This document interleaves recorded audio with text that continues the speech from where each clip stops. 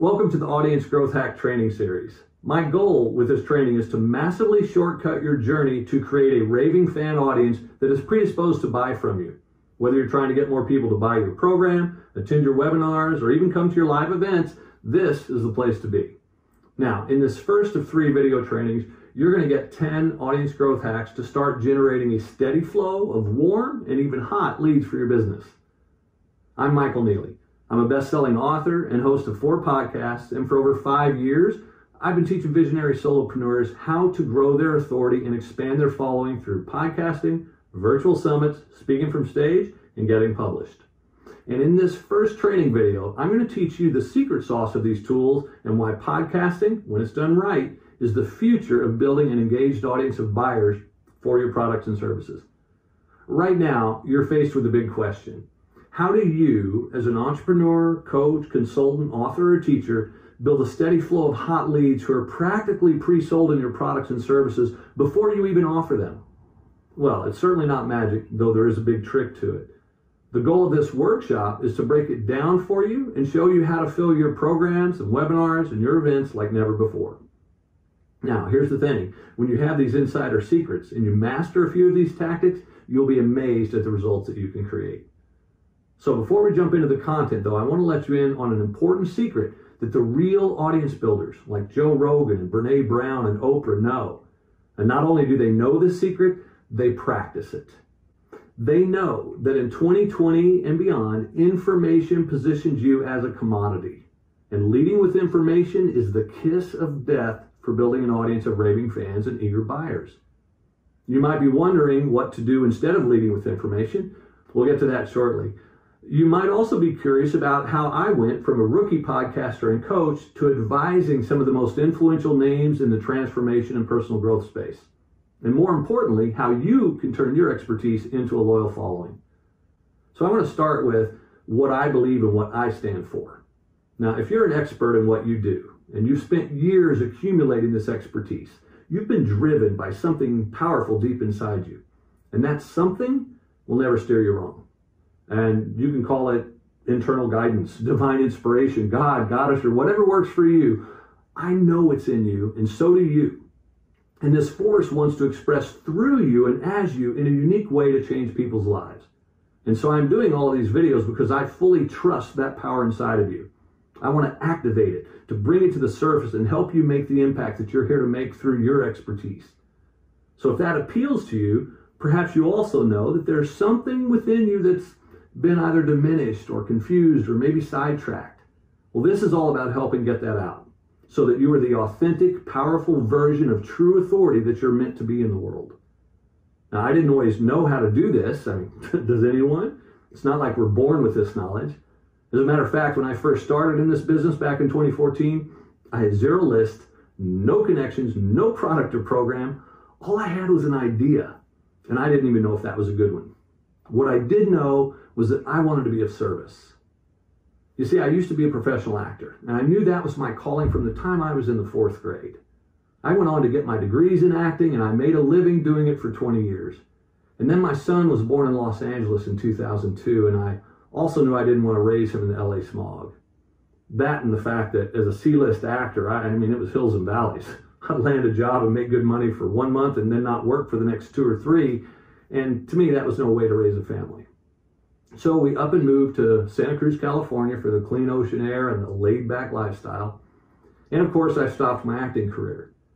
And truth be told, I floundered for several years before figuring out what my new purpose was, what I was here to do. Well, during my acting career, I'd done a lot of study into human psyche and ontology and our nature as humans being. I've done all of Tony Robbins' work and David Deida and Landmark Education and Gay and Katie Hendricks. I mean, I've studied with the best. And so I started coaching. And it was during one of these sessions where a client of mine was having some great aha moments, and I asked if we should be recording this. So we did, and then we played it back, and he said, Dude, that sounds really great. You should start a podcast. And I swear my answer was, What's a podcast? Now, I'm not a total old fart. You know, I'd heard the word before, but I'd never listened to one in my life, and I really didn't even know what one was. Well, two weeks later, I had my first show up and running. And it didn't stop there. A couple months after that, I sat in on a webinar and I learned what a podcast could be. And at that point, I had this sinking feeling in my gut. I instantly knew that I was doing it all wrong. Literally. I mean, I, I, immediately shut down my show. I hired a mentor and I relaunched a month later with new clarity, focus, and format. And that's when things really started to roll. The next thing I know, my list had grown to over a thousand, and then 3,000, and then 10,000. I started getting asked to speak at events. I had my first book published, and then I hosted my own live event. And during this time, podcasters who had far more experience than me were coming out of the woodwork to ask me how I was building my reach and influence so fast. I began to see exactly what they were doing wrong and exactly what I was doing right. I figured out the simple ingredients of my magic sauce, much of which I'm going to share with you here today. All right, so let's get started. In this first part of the video, we're going to focus on filling your offers. So let me just check in with you here first. Have you ever done a webinar where the registrations were just not what you expected? You know, you got a list of several hundred or maybe even a thousand or more, and you put out an invite and you get maybe 20 or 30 people who register. Or maybe your registrations go well and you do good with that, but then only a handful of them actually show up for the webinar itself. Well, the truth is, this is not uncommon in the industry. And while it used to be that registrations were better and the show up rate higher, as I pointed out earlier, people are just inundated with too much information. They're way too busy, and leading with information positions you as a commodity. And people are not only busy, by the way, they're also being more protective of their money, especially in this current climate. Open rates are down, click through rates are down, engagement is down for information pushers. So, this challenge that you're facing is very real, and there's a very real solution.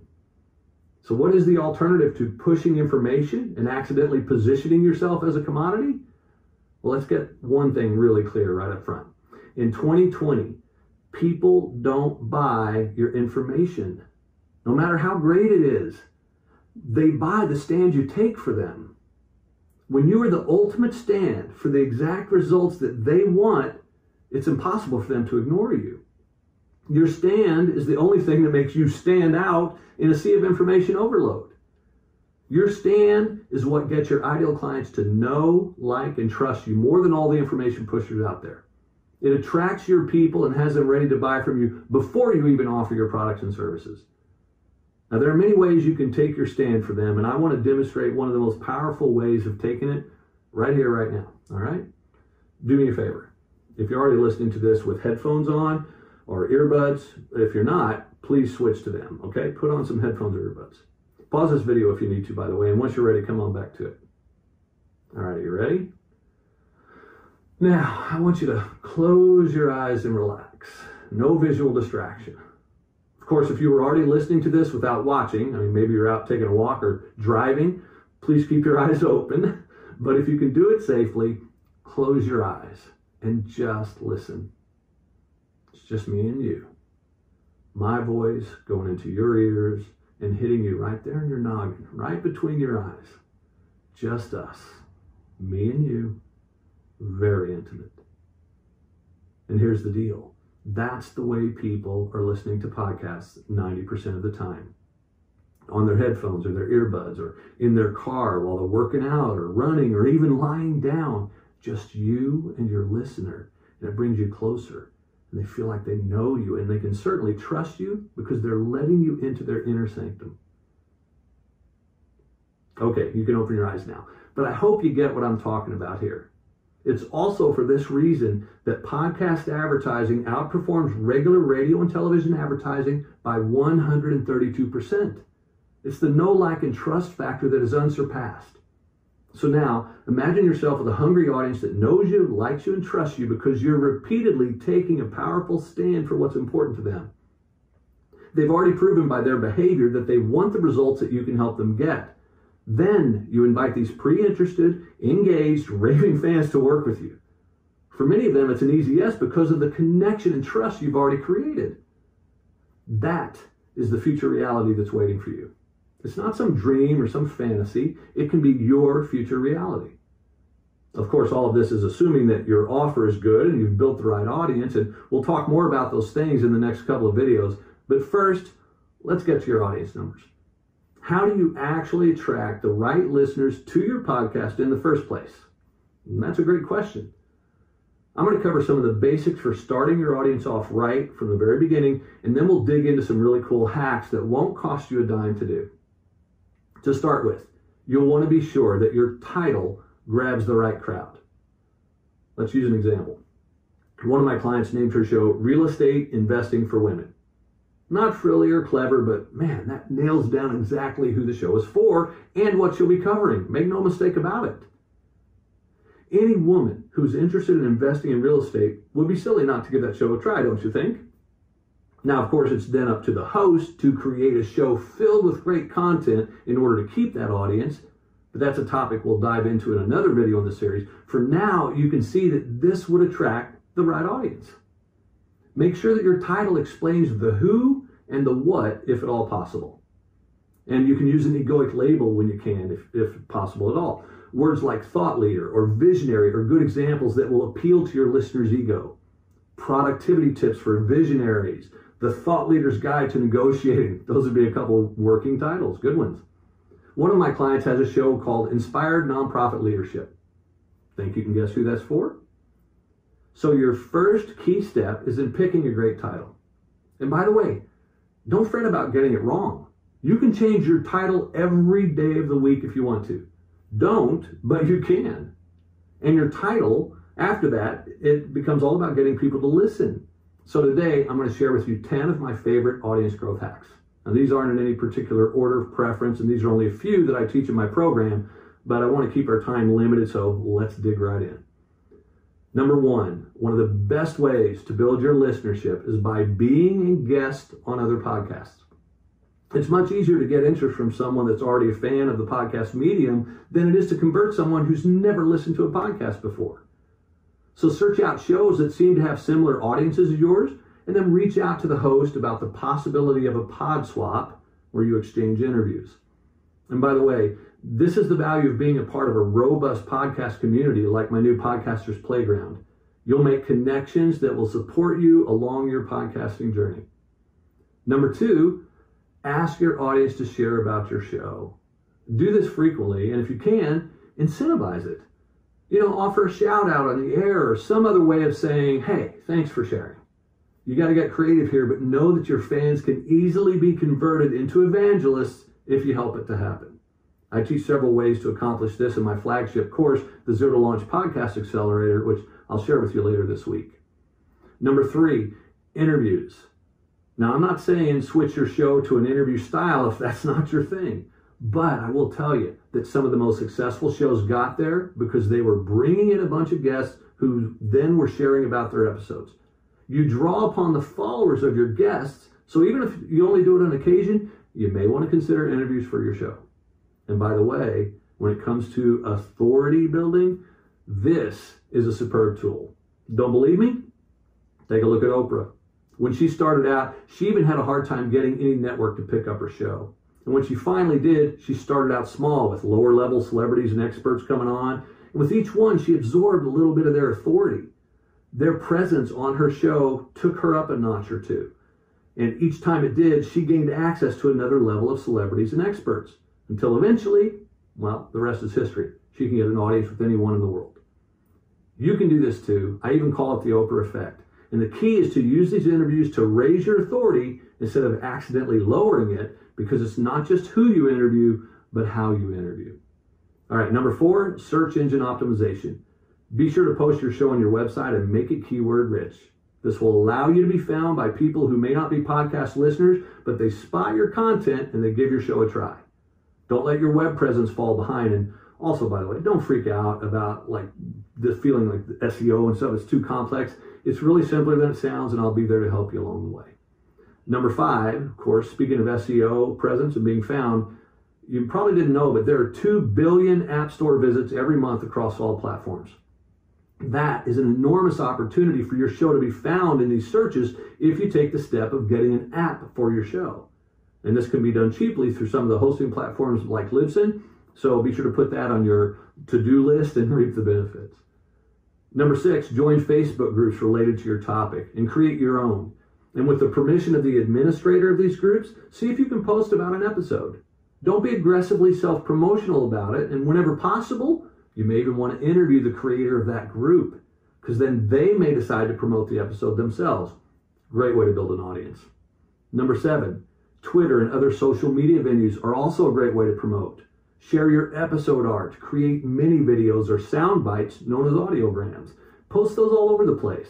LinkedIn, Instagram, Facebook, Twitter, wherever you like to play, be there. Okay, number eight, I, I know we're not getting out there as much as we used to right now, but still, when you are out, be sure to have some postcards and business cards on hand always. Place them on cork boards at coffee shops or your yoga center if that's your thing. Wherever you go that has a space for it. I've been known to leave stacks of my cards in waiting rooms, hotel counters, restaurant tables. Be creative here. Number nine, create a meetup group. Now, these are mostly being run online right now, and I host three of my own. Start one that's related to your topic and begin to watch as people join. Put together a few meetings, share about your podcast, of course, the other stuff that your group is all about. But when this happens, you can watch your audience grow. And join other meetup groups if you don't want to start your own. Just always be sure to attend and share about your show. Number 10, and speaking of attending meetups, don't just stop there, go to all types of events. In addition to hosting my own events, I attend anywhere from 8 to 14 events each year. For some of these, I'm speaking, some I'm sponsoring, some I'm just a participant. But at all of them, I'm sharing about my podcast. My next event, PodQuest Live, by the way, is coming up in September. And during these coming trainings, I'm going to share with you how you can even get a first class ticket, normally priced at $19.97, absolutely free. So be sure to attend all these trainings and the webinar for the details. And you know what? As an extra uh, thank you for sticking around through this video with me, I'm going to give you one of my favorite, and people tell me my most brilliant, audience growth hack. You be the judge. Okay, here we go. Get some podcast cards done up in the shape of a bookmark, about two inches wide, six or seven inches long. Don't put your phone number or email on it, but instead put your show logo and a QR code. You know, one of those codes that direct links your traffic to Apple Podcasts. Also on the card, place a short message that says something like, Readers of this book also found this podcast helpful or interesting. Make it match your style, and then a quick little spot that says subscribe on Apple, Amazon, Spotify, or wherever podcasts are available. Now you got these cards. The next time you're in a bookstore, go to the section where you would find relevant books to your topic. So let's say your show's all about weight loss. Go to the diet section of the bookstore. One by one, pull down books on the subject and put your card in there before placing it back on the shelf. Now, of course, you're going to want to be subtle. It's not like you're not breaking any laws or anything, but the store owner or staff might not appreciate it so much. But think about this one. Your ideal listener just bought a book on the same topic of your podcast. Where else could you find the perfect listener so easily? I like to check out bookstores wherever I travel, and for the local ones, I suggest you visit them at least every couple of months for this practice. And by the way, you can do the same thing at your local library and even some hotels, lodges, resorts. They've even got many libraries where you could use this strategy too. All right. I hope these tips have been helpful for you, and I'd love to hear your feedback in the Facebook group along with any questions you may have or even some tips of your own. Our next training video is going to be about how to create seven revenue streams from one business tool. Because let's face it, growing a big audience without quite knowing what to do with them can pose an entirely different problem. Imagine how different things would be for you if you had one single area of focus in seven ways to generate revenue from it. I bet you'd be making a lot more money. You wouldn't be exhausting yourself and feeling like you had to neglect the people you love just to build more income. If your strategy to make more money depends on you working harder, your plan is doomed from the start. So stay tuned for the next video and let me show you how to work smarter. All right, I'll see you in the next video. Welcome to How to Create Seven Revenue Streams from One Business Tool video training.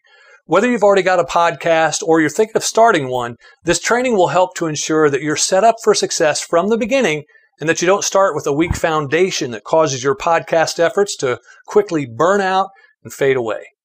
We're going to dive into seven specific revenue streams that you can create from one single podcast. Now, this allows you to focus your efforts for maximum return. Imagine for a moment having money coming into you from seven different directions, just because you're doing one thing. Now, of course, you have to do that thing extremely well, which is the point of this free set of trainings.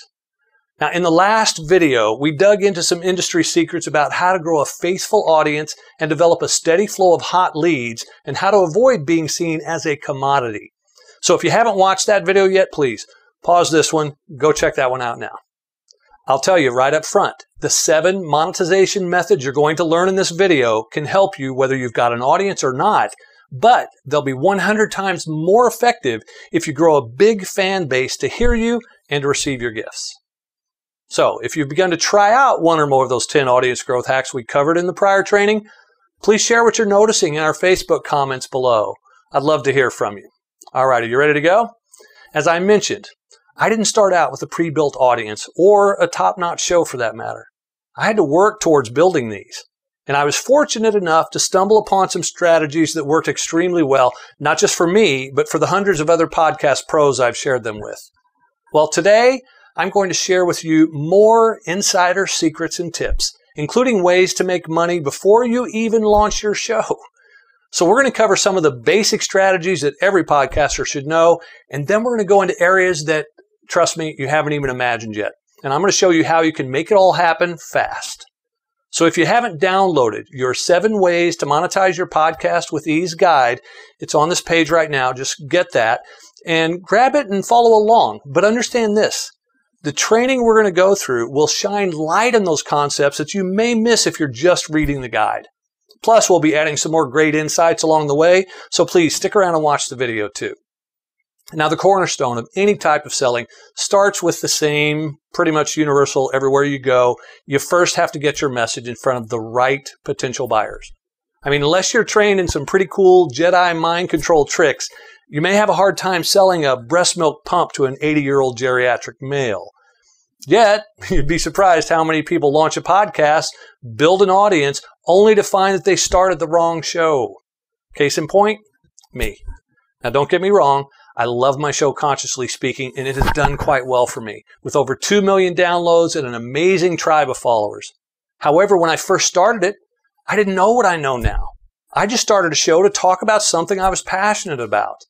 And I was fortunate enough to translate that audience into revenue with affiliate partnerships and eventually sponsorships, but it was nowhere near what it could have been if I'd started by reverse engineering my show. Now, here's what I mean by that. I built a large audience of spiritual seekers, but I personally didn't have anything to sell to them. I didn't have a guided meditation program, even though I'm certified in that. I didn't have an online course for them, not a membership site, nothing really. I was working with clients as a breakthrough coach, helping them overcome mental blocks, but mostly that was geared towards entrepreneurs, business people, not spiritualists. And while sure there's some overlap there, it wouldn't really serve my audience if I spent too much time talking about these business aspects. They wanted to hear about astral projections, near-death experiences, past life regressions, etc. Thus, I started my second show, Buy This Not That, the Entrepreneurial Tool Review, to start growing an audience of ideal buyers for my trainings. So for you, let's start with what it is you have to sell. What is it? Do you want to sell an online course, your recently published book, a coaching program? Only you can determine that, but you must start there. Once you know that, we can begin to dial in on who your buyers are. That's what's commonly referred to in the industry as your ideal client avatar. Who buys your stuff from you? Is it single women between ages of 40 and 50? High schoolers preparing for their SAT? Or maybe it's stay at home dads? Once you've got your avatar dialed in, the next part's much easier. What kind of show can I create to attract that audience? Now, that's a much deeper training for another time, but put that on your radar as you start to look at ways to turn those buyers into real world revenue stream for your business. And here's why the reverse engineering is so very important. 62% of the podcasts that are actually making any money are doing it by selling their own goods and services. Their programs, products, coaching, you name it. They're creating it and then they're selling it. And to be frank, I imagine you're here because you've got your own wisdom, your own gift that you're ready to package and sell to the world if you aren't already. So monetization method number one is to sell your own products, programs, and services. That's a great place to start. But it's not the end. If you're just starting out and maybe you don't yet have your own products, programs, or services, you may want to consider doing what I did with Consciously Speaking. I'd done the hard part of building the following. Now I just needed something to offer them. So in steps an affiliate partner, someone who had a program that was in alignment with my own values as well as the mission and values of my show.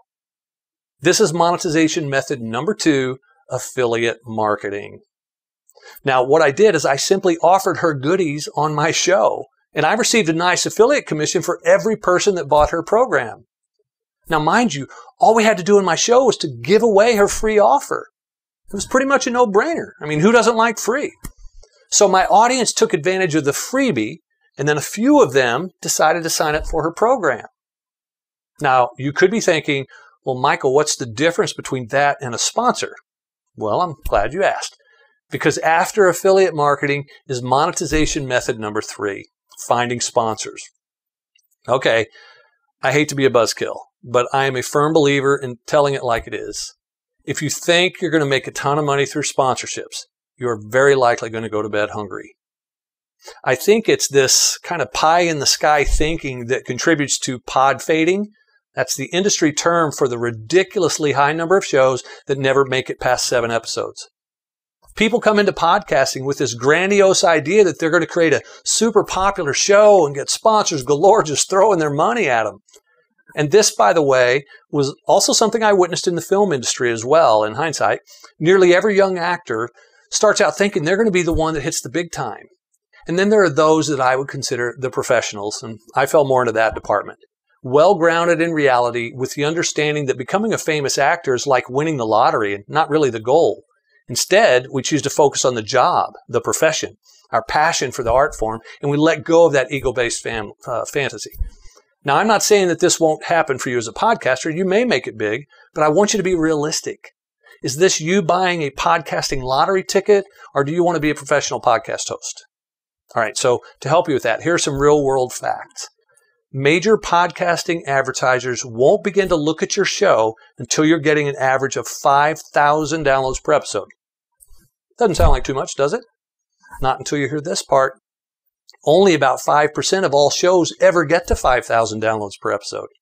As a matter of fact, if you're getting 1,000 downloads, you're beating out 80% of all podcasts. To be in the top 1%, you'll need about 35,000 downloads per episode. Now, I'm not telling you this to discourage you, but because I want you to understand that you know, this strategy, sponsorships, it's the weakest form of monetization until your show becomes super popular. And as if that's not enough, the advertising going rate for a thousand downloads is only about $43. So at 5,000 downloads, you're going to get 215 bucks and it's not really enough to write home about, is it? But here's the good news, all right? Sponsorships are not where the money is. It gets so much better. Let me share a story about one of my clients. This particular one happens to be my former wife, Megan. We were together when I started my podcasting journey, and to tell it like it is, she was never really a big fan of it. She wasn't fully getting the podcasting industry, let's just say. Well, shortly after we split up, she came to me and told me she wanted to start her own podcast, and she asked if I would be her coach. So I helped her to get it launched using the reverse engineering we talked about earlier. And in her first month of being live, she landed a ticket sale for a retreat she was leading, bringing in almost $10,000 instantly. She is now a highly converted podcast believer and she had something to sell and the right audience to sell it to. All right. So you're ready for monetization method number four. This method is known as the walled garden. Now, podcasts are free to the world. That's part of the beauty of them. Yet, as you grow your following, your audience is going to want more. More from you, more from your guests, just plain old more. And one way to give it to them is by selling them tickets to see what's behind that wall. Your walled garden is where you keep the extra goodies, perhaps your outtakes, pre and post show chats with your guests, transcripts of your shows. You get to be creative here and see what your listeners want. And then you can charge them for access. I recommend that you have a tiered structure so that your patrons can settle on the level that they want. Maybe for $1 a month, they get a mention on your show. And maybe you post their name on your website wall of donors. For $5 a month, they get a transcript of the show and access to an outtakes track. I've seen walled garden offers go all the way up to 97 a month and include a group coaching call as part of the deal. You get to decide. All right, now for monetization method number five. I'll say two things about this one. One, you'll need to have a large audience to make it effective, or two, you'll need to provide some other form of ROI to make it work. This method is known as pay to play or charging your guests an appearance fee. I do this now for consciously speaking. And I'm only able to do it because I've grown that audience so much and the demand is greater than the supply. I get about 30 applications each week from people wanting to be in my show. I've only got one opening, so there is zero way I can come close to accommodating even a fraction of them. Therefore, those who want to get in need to pay a small production fee. It's currently only $397 per episode, but it helps to cover my costs and pay some wages. So if you don't have a large audience yet, you can still make this work, or if you provide some other return in their investment, could help too. I know a podcaster who does his shows on video, and he offers his guests a highly produced video that they can use to promote themselves elsewhere. Now, this is more geared towards novices, but it does have some value. And the last I heard, he was charging around $2,000 for an episode. Now, remember, his offer is not about exposure, but about the video that's created. And that's a different value and therefore it needs to be marketed and sold differently, but it's totally worth considering. All right, for these final two methods, you don't really need an audience or to even have launched yet. Monetization method number six, it's all about the guest. Podcasting is a great way to get past a gatekeeper. So if you're someone who sells a relatively high ticket item, let's say 5,000 or more, what better way to make that sale than to get a sit down discussion with the decision maker? One of my podcast friends is a professional speaker. He gets paid twenty to twenty-five thousand dollars to MC big events, like those the corporations put together. So he often invites on event coordinators to his show. And during the conversation, which is also building rapport, he might question them about their big events and maybe drop a comment that he's MC'd for some of the big hitters. And after the interview, he'll casually offer his services and it consistently lands him high paying gigs. And the cool part is those people are excited for the chance to talk to him. And even if he doesn't land the job the first time, he can always invite him back on. And finally, one of my favorites, monetization method number seven. I call this one freebies and write offs.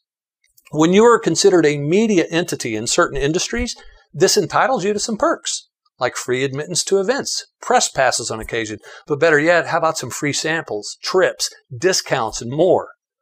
Let me use one of my shows as a prime example something to wine about is my passion project. I love wine. And as the host of a wine podcast, I never pay for tastings when I travel to Napa or Sonoma, Paso Robles, or basically any popular wine region. It's an industry policy that you taste for free. And you usually get a 30% discount on your wine purchases as well. So that alone has saved me hundreds, if not thousands of dollars in the last year alone. Plus, and I have to express here that I'm not an accountant, although I have played one on TV. Please do not construe this as tax advice. You should consider your tax professional. But I write off my wine purchases and wine trips as part of my work, which is a pretty sweet deal right there. And as my parents always told me, a penny saved is a penny earned. So if you've got a passion or a hobby that you spend a lot of money on, why not create a podcast about it and reap the rewards? And here's the deal. If you are a hobbyist, one thing many of my clients come to me worrying about is how much time is it going to take to do this show? Well, the truth is, it's only going to take you the amount of time that you choose to give it. I now host four podcasts, all still running. Two of them are on a basic weekly release schedule, while the other two are more sporadic. That's my call to make. The two shows that are weekly end up taking me about four hours per week or about 16 hours per month. That's for two shows. If you're doing just one, which I do recommend to start, you can do it all in one day of work per month. And if that's too much, start a bi weekly release and skip every other week. 26 episodes a year, four hours a month. Not only will you find it entirely doable, once you start to see the benefits, you'll want to increase it. Several of my clients that started with two episodes per month are now doing it weekly and occasionally adding a bonus episode too. And a few other clients have even gone on to add a second show. It happens. And let me leave you with this for today while the money that can be made in podcasting is really wonderful, there are, in fact, better payoffs. The first time you get an email from a fan telling you how your episode has impacted their life, how your words may have even saved them from the brink of destruction. Or maybe you just brighten their day in a way that they couldn't help but reach out and tell you. I've gotten these emails, and I tell you, those are the moments that are worth more than their weight in gold. And then there are the connections you'll make. Some of my podcast guests have become lifelong friends. Some of them have become my business partners, clients, colleagues. Your network will grow, and the benefits that come with that are also worth far more than many of the sales you will make. They are priceless. So, in video one, you got 10 specific steps for building a raving fan audience. In this video, you got seven revenue streams that can come from a single podcast. So, you know how to grow your following, and now you know how to make money from it. Well, the next subject is how to create a unique, powerful show that you're proud of. One that helps you open the minds you're here to open, make the difference that you're here to make, and change the lives that you're here to change. Now, I know that might sound like a big task, but I want to make it simple for you because it can be much easier than you think. So in my next video, I'm going to show you how to get your show launched and out there to the world in five simple steps. It's really easy. You're going to love it. And one of the best parts about the next training, I'm going to let you in on a few industry secrets that will save you literally hundreds of dollars and dozens of hours of your valuable time. And I'm going to cover how to think like a media company as you set out to create a winning show. We'll cover music, where to find it and how to use it, editing, how it can be much simpler than you probably think, and a proven launch strategy that will immediately propel you beyond the podcast rookies and imitators. So please drop me a line in the Facebook notes below and let me know what ideas you've sparked around monetization. Which method or methods are you going to start with? And let us know what you plan to sell. I'd love to hear your feedback, and I'll see you in the next video.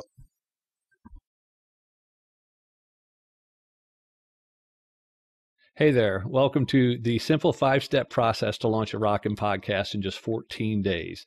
Now, this quick and easy training got its name from the fact that it was 14 days from when I learned what a podcast even was until the day I actually launched my first show. And truth be told, it can be done even faster than that. Launching a podcast is easy. I'm not going to kid you about it. I mean, I literally could walk you through a process right now over the next 15 minutes and assuming we're only releasing a five minute episode, we could have a live show by the time we're done.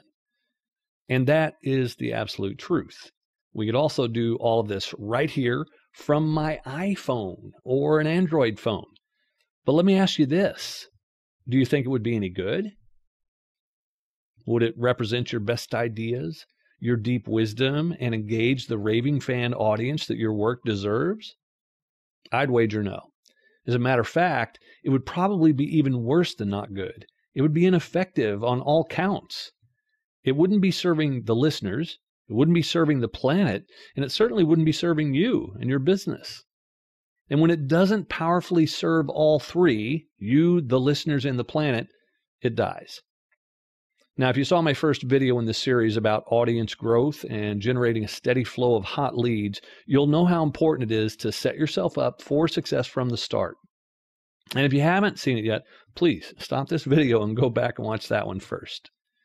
And if you haven't seen video number two, where I lay out the seven income streams that you can create from a single source, you should definitely check that one out as well. In addition to learning some incredible ways to monetize your show, you'll also get how important it is to create a show that attracts your perfect audience. And of course, if this is your first training video in the series that you're watching, allow me to introduce myself. I'm Michael Neeley, and I've been teaching visionary entrepreneurs how to grow their authority and expand their following through podcasting, virtual summits, speaking from stage, and getting published for over five years now.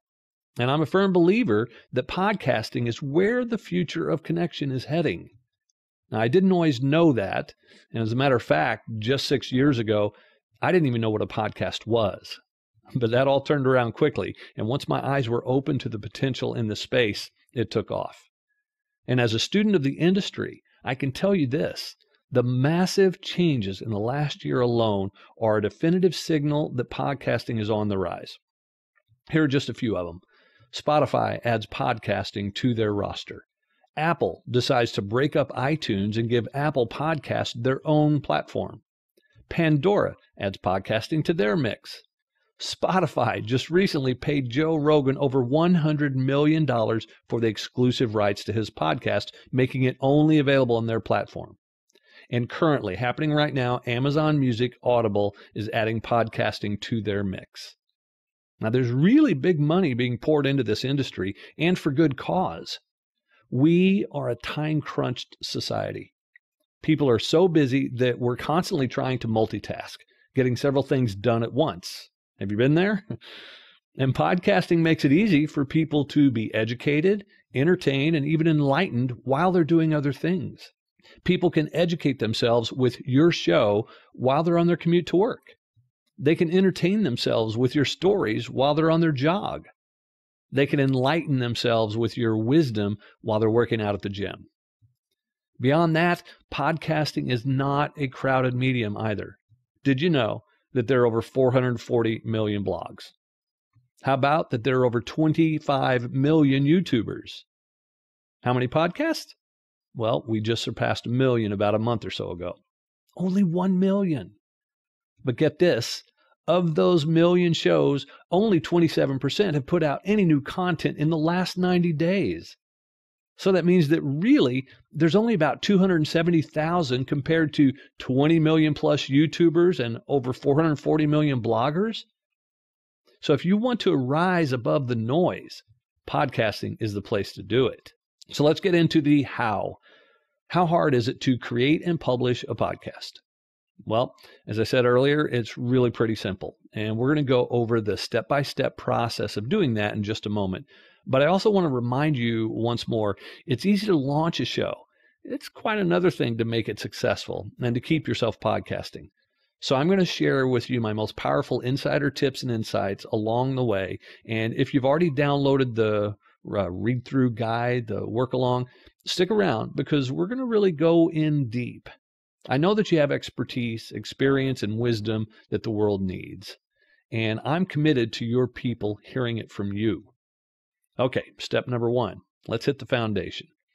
You would never build a house for your family without first laying down a stable foundation, one that holds everything in place so the house can withstand a 100 years or more of whatever nature throws at it. And even if you're not planning to podcast for 100 years, your foundation determines how solid your podcast will be. What is your show going to be about? In the training on monetization, we talked a lot about your avatar you know, that buyer of your products, programs, or services that you want to attract. So let's put that in action here. Start with what it is you're planning to sell. Determining your method of monetization will help to further define your show and lay this foundation. But since most podcasters monetize through selling their own stuff, we'll just play with that one, for example, here. So, knowing what you want to sell and who will buy it are key to determining the topic of your show. Where are your ideal clients already hanging out? What types of shows are they tuning into? Once you know that, create the show that will attract them like moths to a flame. To create your show for that target audience, you can now decide whether or not you'll be doing a solo show or if you want to have a co host. Determine the general length of your show. Will it be short form, like 5 to 15 minutes, or long form, going over an hour or more? Or maybe you'll land somewhere in the middle at around 30 to 45 minutes. It's entirely up to you. There's no right or wrong answer here, but I can tell you this for someone just starting out, and especially if you're planning to do your own editing, all the work on your own, you may want to start with a shorter show. You can always extend it later. My goal, by the way, in all of my trainings is to prevent you from pod fading. And the best way to do that is don't start with something that's too much. Don't bite off more than you can chew. Don't overwhelm yourself. Same thing with your release schedule. If one episode a week feels like too much, start out with one every other week and take it from there. You can always add more episodes later, not a problem. What day you release your show on is less important than remaining consistent. Pick a day and stick to it as best as you can, at least. People are going to watch your show at their leisure anyway, but I will also tell you that more downloads happen during the week than on the weekends. Now, choose your title, keeping in mind that it has but one singular objective. Make your potential listener think, ah, this show sounds like it's a good fit for me. Keep it simple and explanatory if you can. One of my clients hosts a show called Real Estate Professionals. It's pretty obvious from the title who it's for and what it'll be about. And another hosts Getting Through Cancer with Courage. A person scouting for a new podcast to listen to could tell at a glance if these shows would interest them. Make your title do that. Now, your show logo. That one piece of easy artwork that represents your podcast should be designed to jump off of a page among, let's say, 30 or so other logos, and it should catch the viewer's eye. That's its singular objective. Once it catches the eye, the title can do its job. So your logo will need to meet certain specifications that you can find in the downloadable guide on this page. So I'm not going to go into the details of them there, but I will tell you that it must meet these specs in order to be accepted by Apple Podcasts. And since we're on the subject of Apple, let me say this. You may not be a big fan of Apple. And, you know, I even know some people who just won't even touch an Apple product if you paid them. But you should know this if you're going to podcast 60% of all podcast downloads occur on Apple Podcasts. The next closest podcast aggregator is Spotify at about 10%. And of the remaining 30%, Two thirds of those are podcast players that scrape their data from Apple anyway. So it really boils down to this. If you are not on Apple Podcasts, then you pretty much don't have a podcast because you're unavailable to 80% of the world out there. So build your artwork to meet their specs and then let us do it let it do its job. Catch a viewer's attention. That's all it's supposed to do. And this is key here because I know there are perfectionists out there that let this kind of thing stop them. And I'm telling you, just do it. It doesn't need to be perfect, it just needs to be done. You can change your artwork, by the way, and even your show title every day of the week. I'm not recommending that you do by any means, but the point is launch first and adjust later. All right, next up, step number two the right infrastructure. Infrastructure is all about what's going on technically to make the best show possible. Now, there are two key parts of the right podcasting infrastructure your equipment and your hosting platform. As for equipment, I said it earlier and I'll say it again you can record your entire episode on your smartphone. Beyond that, I do recommend that you get a professional microphone, which can be had for under $100. I started out with one of those uh, Logitech headset microphone combo pieces for about 25 bucks. In hindsight, it sounded pretty bad, but it worked. And eventually I upgraded to the mic I recommend the most, the Audio Technica ATR 2100X. That's what I'm recording this on right now. It's versatile and perfect for podcasting. And I've got one, another one here to demonstrate for you. And if you look at the bottom of this, you can see it's got an XLR connector or a USB, which gives more versatility. It can plug right into your computer or into a something if you like a portable device. It could record into a Zoom handheld, uh, the H4n Pro or the H6 Pro. So it's a very versatile microphone, and it could be had for 99 bucks, I believe, on Amazon right now. And of course, then you're going to need some editing software, most of which you can record directly into. Okay, so let me be clear on that. You can set up something like Audacity which is a free open source software you can download and use on Mac or PC. And I know a lot of podcasters who use it all the time. You can record directly into that. Similarly, GarageBand, Adobe Audition. Uh, personally, I'm a big fan of Adobe Audition as it's more robust than the others. But you would have to pay about 20 bucks a month to get a subscription for it. And for me, though, it's worth it because of the time it saves me in editing far more valuable than the $20 each month. I mean, think about it. If you're spending $20 a month, but it saves you four hours, that's like $5 an hour. So it's worth it. Once you've got your mic and your software, you can start recording and editing your first episode. However, you're still going to need a place to put it when you're done.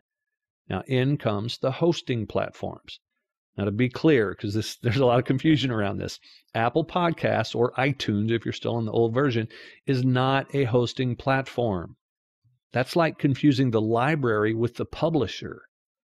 A hosting platform is where you will upload your completed episodes and then they will be broadcast out, which is also known as syndication, to the various podcast aggregators. In the term of the industry, we call them podcatchers which is what Apple and Spotify and Pandora and all these other players actually are. So, in selecting your hosting platform, you'll want to look at upload limits and download limits, long term storage, and statistics, among other things. Your upload limit requirements will be determined by the length of your shows and your release schedule. I'm going to break this down for you a little bit here. A 30 minute episode, when exported properly and on the right settings, should be about 15 megabytes in file size. So if you do one episode a week, you should never really need more than 75 megabytes of monthly episodes. Are you following me? 15 megabytes per episode, five times potentially in a month if it's a month of five weeks, 75 megabytes of upload. But if you do two episodes a week and they're one hour each, you're going to need an upload limit of more than 300 megabytes. So be sure to choose a plan that fits your needs. Now, here's the other thing that can be a little annoying to me, and that's download limits. Download limits are essentially something that only a few of the platforms really charge for. So be wary. If your show becomes popular, you could end up paying a lot for that good news when you really don't need to. I always recommend shying away from platforms that charge you more for your success. Some platforms will provide basic stats, but if you want advanced information like where people are listening geographically or technically, you may have to pay a little bit of a higher premium for that. Not much. Libsyn is my favorite hosting platform, and you get these advanced stats included at their plan price of $20 or more per month, anything 20 and up.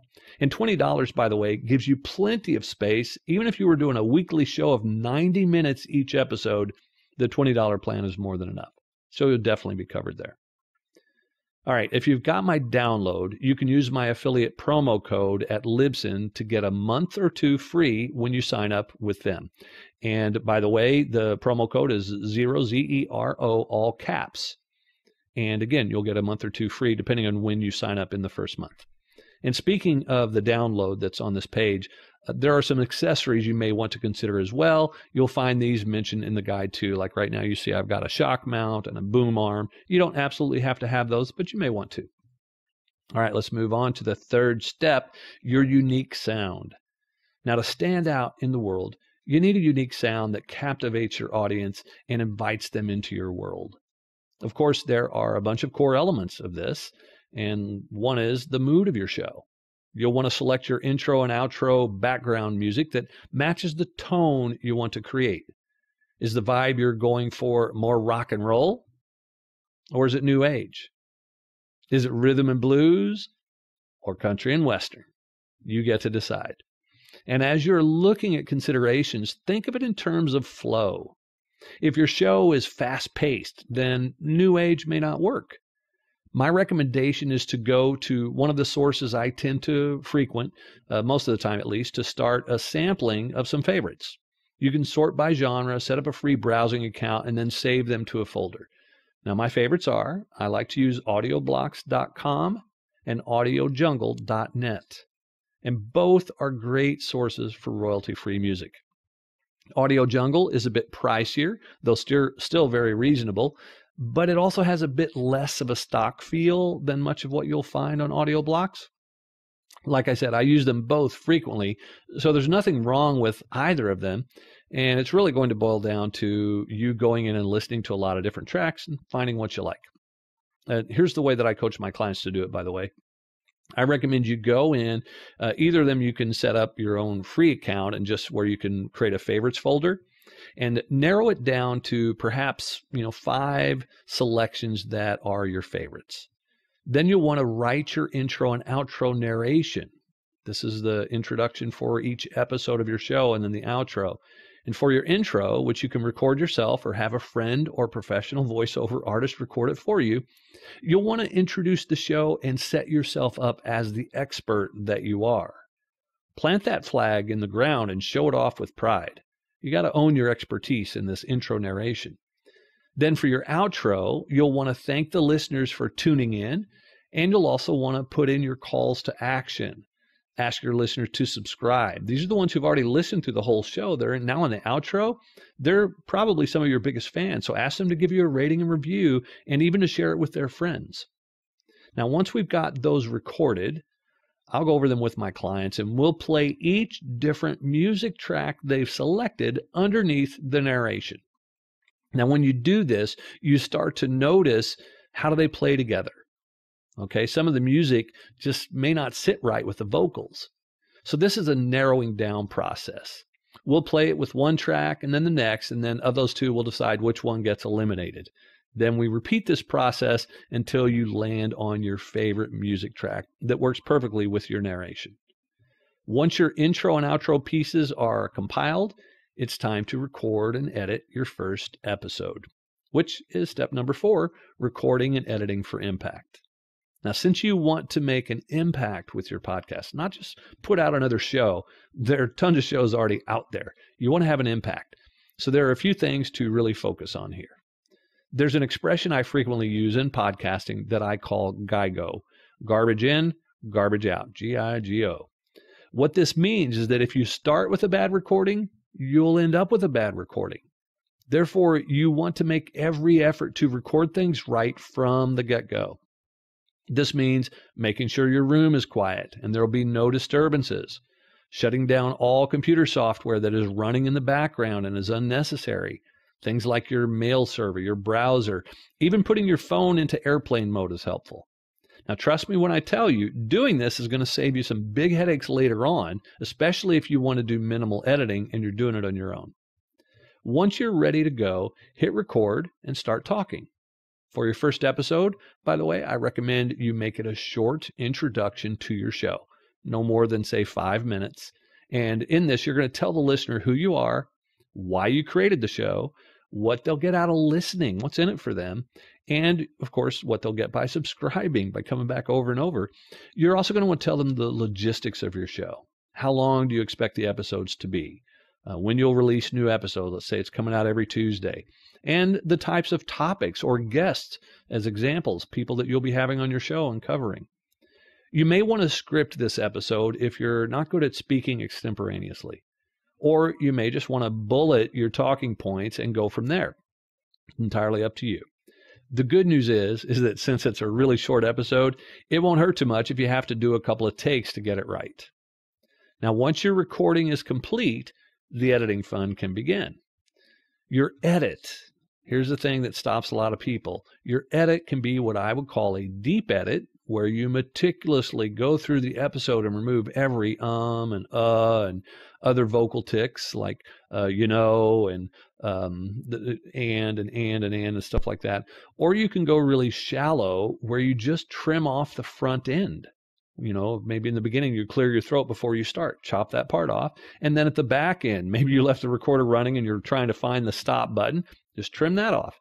And then, of course, there's every level in between. What you choose will become part of your show style. I was being recorded as a guest one time, and the host dog started barking like crazy. And I paused and I said, Hey, you know, should we wait until the dog stops? And he said, Oh, no, don't worry about it. it I just record everything and leave it as it is. Sirens, lawnmowers, makes no difference. Wow. Okay. Now, I would never do that myself personally, uh, but if you're going to do that, which will save you a ton of time with editing, by the way, you'll need to be sure that your audience is aware of your style. If they've come to accept and maybe even uh, expect that type of a style, you're good to go. And a lot of people like that, that very raw, real feel. And when your edit is complete now, you'll need to add on your music, your intro and your outro, and then you export your finished project as an MP3 file. Now, it's this MP3 file that you're going to upload to your hosting platform for syndication. All right. During this upload process, when you're putting it into your hosting platform, you're also going to have a chance to put in your episode title, your show notes, your episode art, if you choose to make unique art for each episode, like some people will uh, do a graphic with their guest photo there. And if you choose to create special art for each episode, you'll get a chance to upload that there. And then you can schedule or release your show uh, immediately, depending on how you want to put them up there. Literally, you could schedule in all of your shows for as far into the future as you want, a whole year if you wanted to. Once you hit the publish button, it is sent out to the world, assuming it was scheduled to go live immediately. And it's also sent to all of your subscribers for their enjoyment. All right. Now, you'll also want to set up a player and a podcast page on your website and then post your episode there too. All right. This way, people who are visiting there can listen to it on your website. And finally, step number five your buzz building launch. As the title implies, this is about launching your show and what launch would be complete without any fanfare. You need your launch to build a buzz. Now, there are certainly some elements you'll want to have set in place before the big day. As, as an example, I mean, you're going to want to create a Facebook group where you can gather a bunch of supporters as your official, what I would call a launch team. These are the people who will go into Apple Podcasts on launch day and subscribe to your show. They'll download your episodes, give you a rating and a review, and share it with their friends. This is your launch team. And that's all they have to do, by the way. It takes them a few minutes on launch day. And a Facebook group is a great place to make this sharing easy. You can post updates and instructions to the group, give them the links for sharing, and keep them apprised of your efforts. As you invite them to join your launch team, be sure to let them know that you're not expecting a bunch of hard work from them. On the contrary, all they're going to need to do is give you about five to 10 minutes of their time on the day your show goes live. And that day, by the way, is somewhat arbitrary. Now, once you've got your first episode uploaded to your hosting platform, you can then submit your show to Apple. All right. It takes at least one episode to go to Apple. This is a one time process, by the way, and it could take Apple anywhere from 12 hours. I've seen it happen that fast to as long as 12 days. I've also seen it going that slow uh, for them to approve your show. But once it is approved, you can select your launch day as you see fit.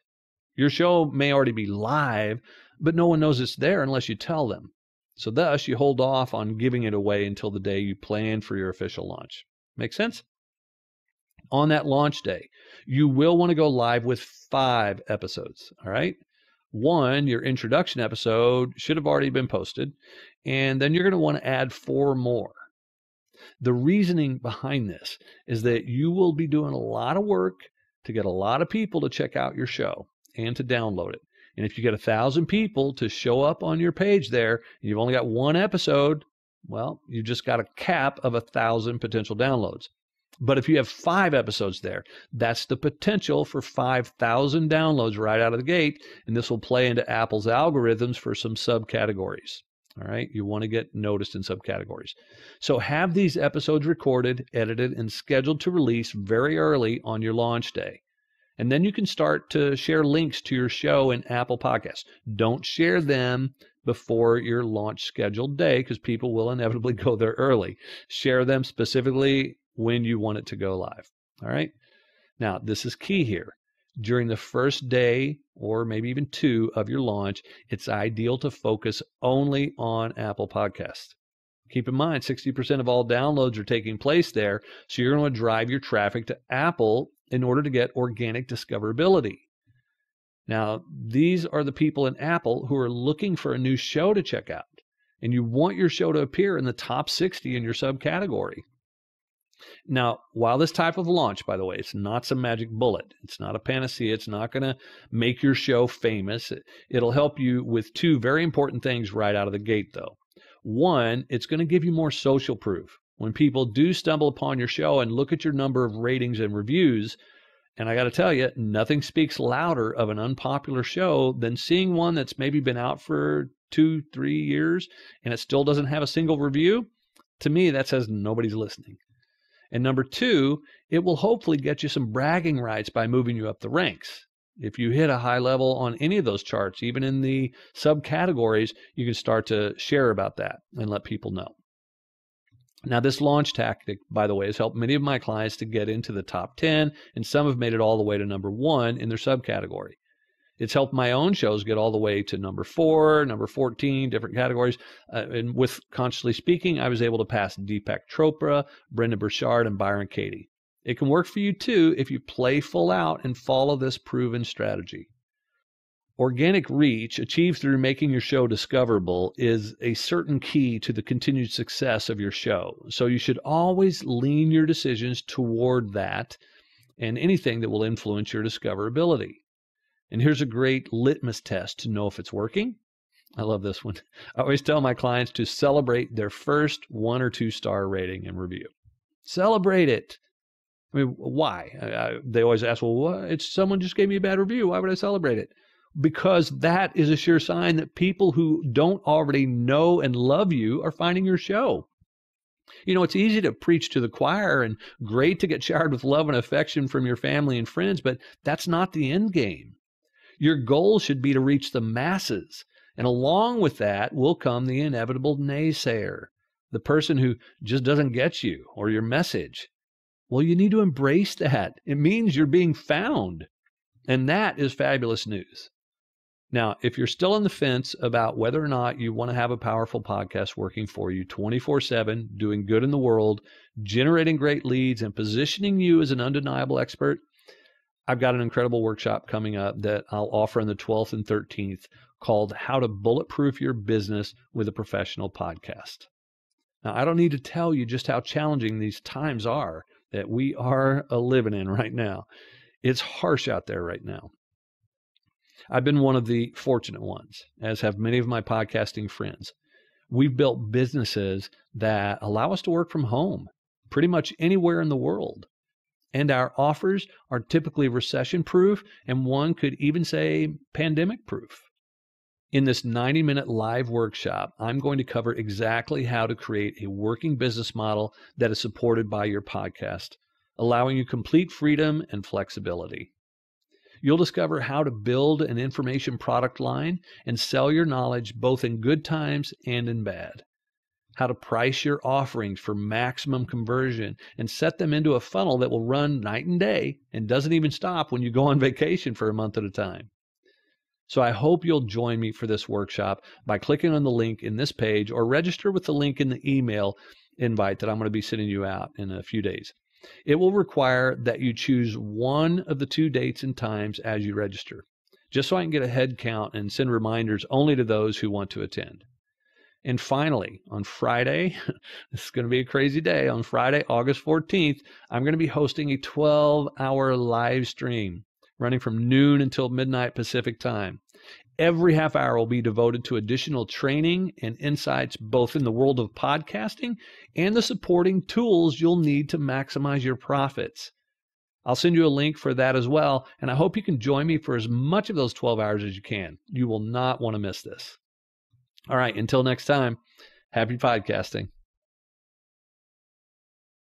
If you're ready to go from being the best kept secret to the go to expert in your field in record time, I'm so glad you're here. You've come to the right place. Now is the time to share your story. I'm Michael Neeley, and I believe that graveyards are filled with too many people who died with their stories left untold, their gift left unshared, and it's my mission to change that. Your story is worthwhile, and there are people out there who need to hear it. You know, the best way to share your message? Podcasting. It's growing by leaps and bounds, and it's a worldwide venture unlimited by time zones or telephone wires. Consider the numbers right now. There are over 440 million blogs in the world and more than 25 million YouTube channels. Podcasting, we just hit 1 million. And of those, only 27% have put out any new content in the last 90 days. Meanwhile, more than 104 million Americans have listened to a podcast in the last month, and on average, they're spending 6.3 hours each week listening to their favorite shows. What does all this mean for you? That there's a huge potential in podcasting if you set yourself up for success from the get go.